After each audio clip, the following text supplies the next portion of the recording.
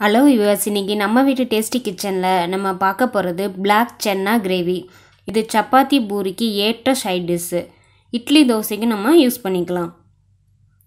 வாங்க இதை எப்படி செய்கிறதுன்னு பார்க்கலாம். இது வரைக்கும் நம்ம வீட்டு டேஸ்டி கிச்சன் சேனலை சப்ஸ்கிரைப் பண்ணாங்க. பண்ணுங்கள் பக்கத்தில் இருக்க பெல் பட்டனை அழுத்தாதவங்க அழுத்துங்க. அப்போ தான் நாங்கள் புதுசாக அப்லோட் பண்ண வீடியோ நீங்கள் பார்க்கலாம். கொண்டக்கல்லையை நம்ம சும்மா வேக வச்சு கொடுத்தா குழந்தைங்க சாப்பிட மாட்டாங்க. இந்த மாதிரி நீங்கள் கிரேவி மாதிரி செஞ்சு சப்பாத்தியோடு கொடுக்கும்போது விரும்பி சாப்பிடுவாங்க. ஸோ ஒரு முறை இதை நீங்கள் ட்ரை பண்ணி பாருங்கள் இதுக்கு கருப்பு கொண்டக்கடலை டென் டு டுவெல் ஹவர்ஸ் ஊற வச்சு குக்கரில் ஒரு நாலு விசில் வச்சு எடுத்துக்கோங்க. அதுக்கப்புறம் பெரிய வெங்காயம் ரெண்டு பெரிய வெங்காயம் அரிஞ்சு வச்சுக்கோங்க. கொஞ்சம் கருவேப்பிலை கொத் கொத்தமல்லி தலை எடுத்துக்கோங்க. கால் கப்பு தேங்காய் ஒரு டீஸ்பூன் சோம்பு ரெண்டு தக்காளி பழம் அரிஞ்சு வச்சுக்கோங்க.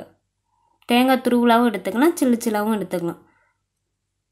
அப்புறம் தேவையான அளவு உப்பு ஒன்றரை டீஸ்பூன் மிளகாய்த்தூள் ஒரு டீஸ்பூன் மல்லித்தூள் ஆஃப் டீஸ்பூன் கரம் மசாலா தூள் ரெண்டு பட்டை மூணு கிராம்பு எடுத்துக்கோங்க. வானிலில் நம்ம இப்போ ஒரு ரெண்டு டீஸ்பூன் எண்ணெய் விட்டுக்கலாம். ஃபஸ்ட்டு பட்டையும் கிராம்பையும் போட்டு தாளிச்சிக்கோங்க. கருவேப்பிலையும் போட்டு தாளிச்சிக்கோங்க.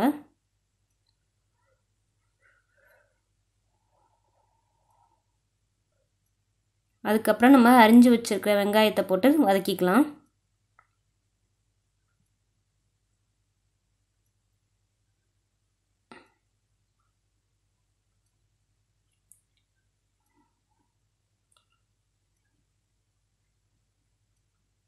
அடுத்து தக்காளி பழத்தையும் போட்டு வதக்கிக்கோங்க.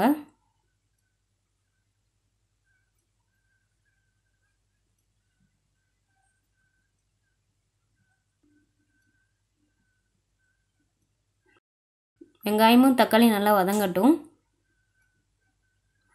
அப்புறம் நம்ம எடுத்துருக்கிற ஒன்றரை டீஸ்பூன் மிளகாய்த்தூள் ஒரு டீஸ்பூன் மல்லித்தூள் ஆஃப் டீஸ்பூன் கரம் மசாலா தூள். தேவையான அளவு உப்பு சேர்த்துக்கோங்க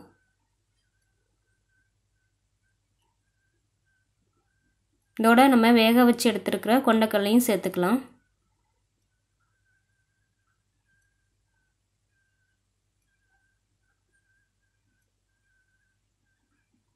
எல்லாத்தையும் போட்டு நல்லா கிளறிக்கோங்க. நம்ம அரைச்சி வச்சுருக்கிற தேங்காய் துருவலையும் இதில் சேர்த்துக்கலாம்.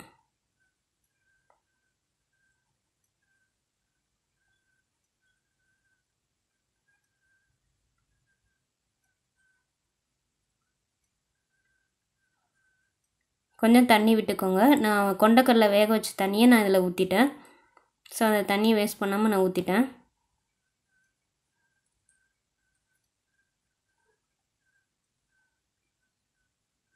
நல்லா கிளறி விட்டுக்கோங்க.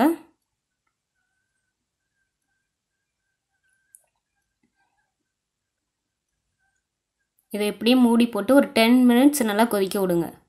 டென் மினிட்ஸ் கழிச்சு திறந்து பார்த்தீங்கன்னா இந்த மாதிரி நல்லா எண்ணெய் பிரிஞ்சு வந்திருக்கும். அந்த ஸ்டேஜில் மல்லித்தலை போட்டு கிளறி விட்டுக்கோங்க.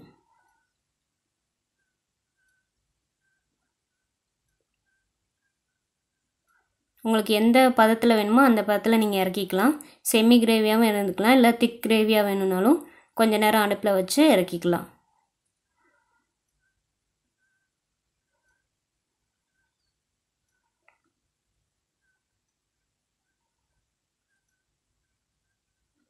இப்போ நல்ல டேஸ்டியான பிளாக் சென்னா கிரேவி சப்பாத்திக்கு ஏற்ற சைட் டிஷ்ஷு நம்ம வீட்டு கிச்சனில் தயாராக இருக்குது இதை உங்கள் வீட்டு கிச்சனில் ட்ரை பண்ணி பாருங்கள் கமெண்ட்ஸை எங்களுக்கு சொல்லுங்கள் தேங்க்யூ ஃபார் வாட்சிங் திஸ் வீடியோ